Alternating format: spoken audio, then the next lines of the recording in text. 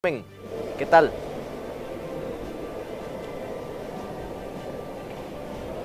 Así es, Johan, muy amable, gracias. Estamos en vivo desde la Catedral de San Isidro del General, donde esta mañana se han generado muchísimas noticias. Y es que hoy es el día del Santo Patrono, San Isidro Labrador, y por esa razón se han estado llevando a cabo los festejos patronales en este 2024 y que también TV Sur Pérez de León ha tenido presencia en muchas de estas actividades.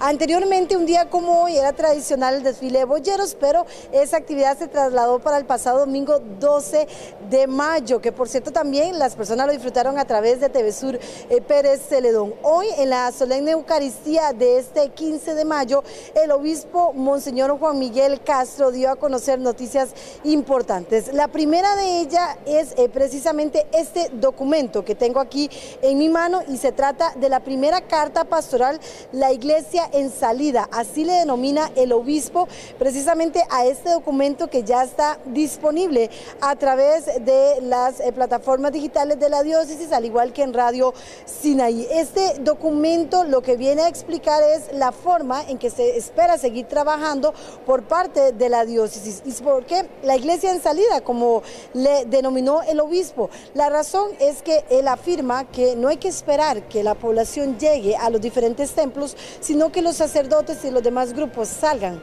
a atender a la población. Escuchamos lo que indica Monseñor con respecto a esta carta.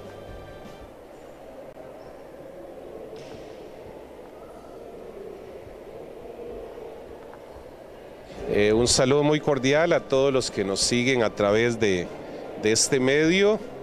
Hoy día de San Isidro Labrador, nuestro santo patrono diocesano, eh, pues con mucha alegría hemos celebrado esta fiesta patronal, eh, sabiendo que San Isidro es todo un modelo de vida cristiana para todos.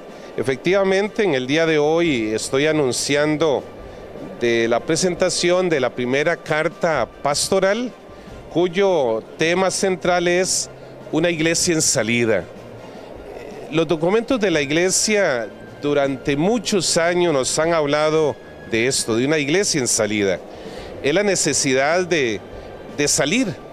Eh, sacerdotes, eh, todos estamos llamados a salir, cristianos, miembros de grupos. Eh, es la única forma para poderle llegar a los alejados. Eh, no tenemos que esperar que en las casas curales llegue la gente, sino tenemos que ir, ir a visitar al enfermo, ir a visitar al agricultor, ir a visitar al campesino, ir a visitar las realidades donde cada uno ve. Y en esta carta pastoral precisamente eso es lo que, lo que he querido indicar, que todos nos comprometamos a llevar esa iglesia en salida eh, para poder llegar a todas las personas, acercarnos a todas las personas y a todas las realidades que vive el ser humano. Señor, ¿cuántas páginas tiene y es accesible a la población este documento? Sí, 39 eh, páginas. Eh, ya el padre Lila subió a la página de Radio Sinaí. Ahí digitalmente cualquier persona puede tener acceso y esta se la va a regalar a usted. Bueno, y también otra de las noticias que se dio es que ahora la Catedral de San Isidro del General tendrá una copatrona. Y hablamos precisamente de esta imagen que tenemos aquí al fondo, que es la imagen de la Virgen bajo la concepción de eh, la Inmaculada Concepción de María. Específicamente esta imagen ahora va a ser eh, eh, copatrona de la diócesis de San Isidro del General. En este momento se tiene al santo patrono San Isidro Labrador, pero también se tendrá ahora a esta nueva copatrona y también se tendrá una celebración que será en el mes de diciembre. Escuchemos lo que indica el obispo Monseñor Juan Miguel Castro con respecto a esta noticia. La diócesis tiene eh, un patrón o patrona, en este caso es a San Isidro el Labrador, y por general este, la diócesis tiene al lado de, un patrón una patrona, eh, y por eso he querido que esté presente la Virgen María bajo la advocación de la Inmaculada Concepción. Eh, no hay duda que María es un modelo de, vida para todos nosotros cristianos católicos y estamos llamados a, imitarla siempre. Y por eso he decidido que a partir de hoy la, Virgen María, bajo la advocación de la Inmaculada Concepción, sea la copatrona. El 8 de diciembre entonces vamos a celebrarlo solemnemente como estamos celebrando a San Isidro en el día de hoy.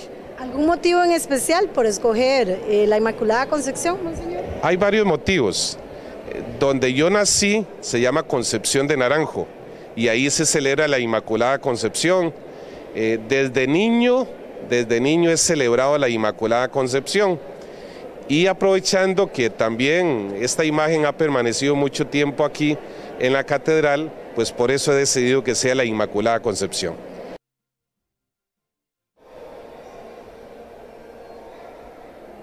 Bueno, una celebración más que se suma entonces acá en la diócesis de San Isidro de El General con ahora una copatrona que tendrá la Inmaculada Concepción de María, así que una noticia importante que también se dio a conocer durante esta solemne Eucaristía. Y es que durante esos festejos patronales también el obispo por tercer año consecutivo tomó la decisión de realizar la novena de una manera bastante particular como le ha denominado y es visitar comunidades a lo largo de toda la diócesis para compartir con los productores, con los vecinos de los diferentes cantones.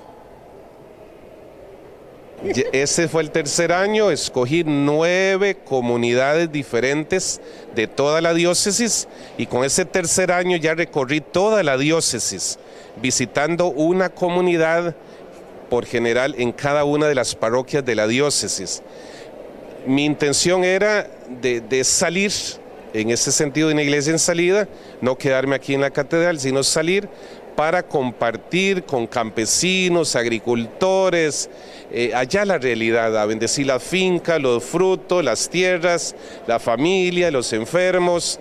Esa fue la intención de salir en nueve comunidades y voy a continuar mientras esté aquí haciendo la novena así de esta forma. Fue una experiencia lindísima encontrarme con muchísima gente en la realidad donde ellos viven y tuve la oportunidad de bendecirlos y animarlos en la situación en la cual se encuentran.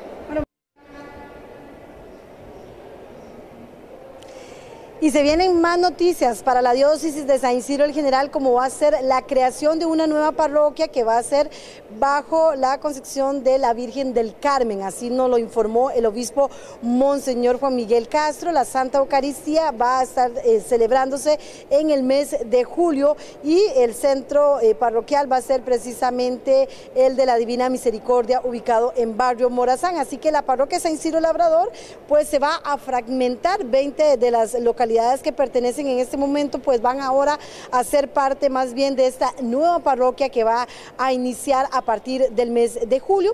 Y bueno, también como parte de todo esto, la gran celebración del 70 aniversario de la diócesis de San Isidro del General que será en una sesión, en una Santa Eucaristía Solemne que está prevista para el 19 de agosto a las 10 de la mañana. Se espera la presencia también de los obispos que forman parte de la conferencia episcopal y por supuesto todo el clero de la diócesis diócesis de San Isidro del General. Dos actividades importantes que se vienen acá para la Iglesia Católica, específicamente para la diócesis de San Isidro del General. Así que con esta importante información nos despedimos. Kevin Serrano en cámaras, Carmen Picado Navarro les brinda las noticias desde la Catedral de San Isidro del General.